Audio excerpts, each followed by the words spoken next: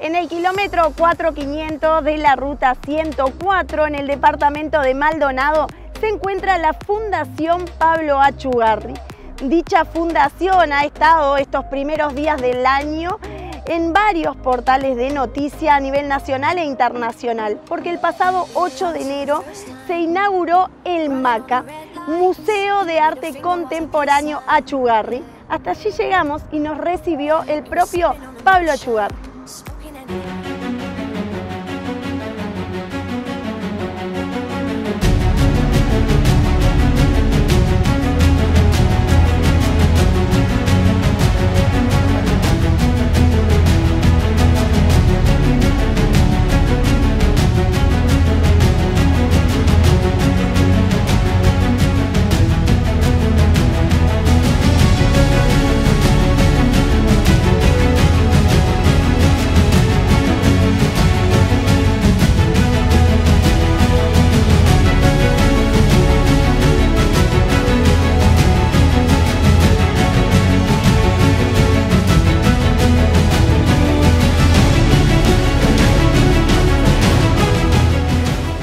2007 se inaugura la, fundación, que justamente este año llevamos 15 años de actividad y justamente siempre muy, muy cercano a los artistas, a los artistas nuestros. Recuerdo la, las primeras esculturas con Miguel Bategasore y, y el Toto Podestá y, y, el amigo Broglia. Y bueno, y ahí da, se dio el puntapié inicial en su momento al, al, Parque Esculturas y bueno, y después han seguido otros edificios eh, hasta que eh, llegó esta nueva criatura que es el Museo de Arte Contemporáneo. El turismo eh, internacional ya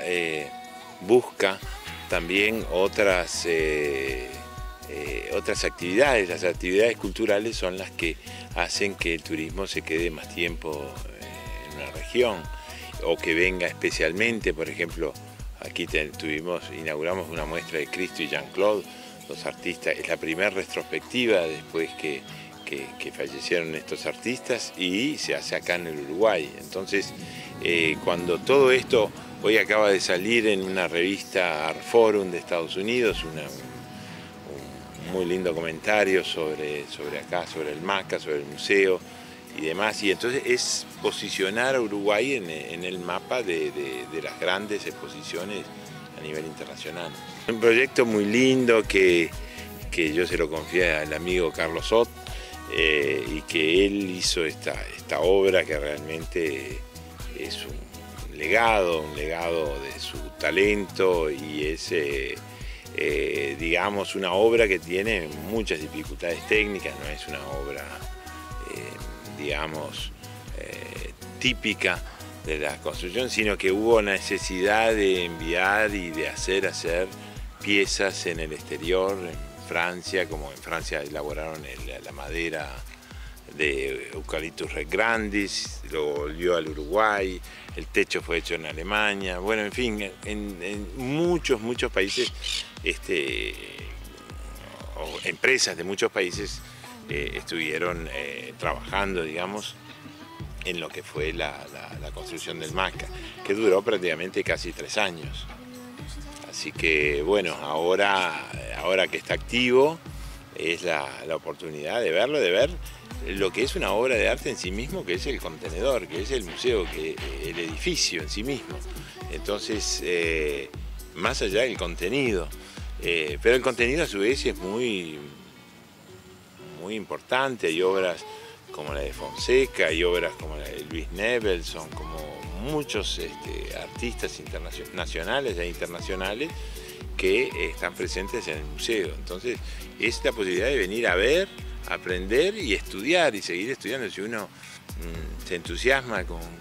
los autores, puede ir a estudiar, a ver qué hizo, qué no hizo. O sea, es una puerta abierta a la imaginación. Eh, recordemos que está siempre este parque de 40 hectáreas donde está, hay 75 obras para visitar eh, a distintas horas del día y de repente cuando está muy caluroso ir al, museo, hay varios este, edificios que, tienen obras, entonces es un poco un lugar donde, donde, de encuentro, donde la familia puede llegar con todos sus integrantes, los niños, sobre todo es muy importante que los jóvenes, los niños se acerquen y que vayan este, descubriendo a través de su curiosidad los diferentes autores. Bueno, así que dejamos la invitación entonces para que se acerquen a la Fundación Pablo Achugarri todos los días en un horario sumamente amplio. Sí, el museo está abierto de, desde mediodía hasta las 8 de la noche, todos los días, y también tenemos eh, mm, el parque que ya está abierto desde las 10 de la mañana.